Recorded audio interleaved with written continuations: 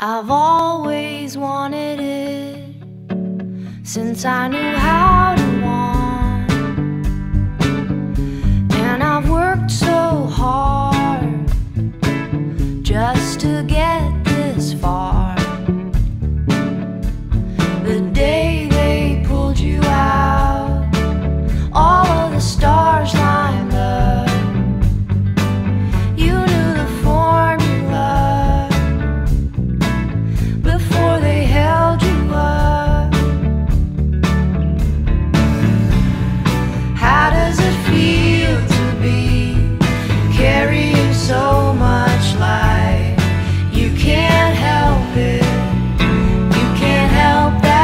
so good.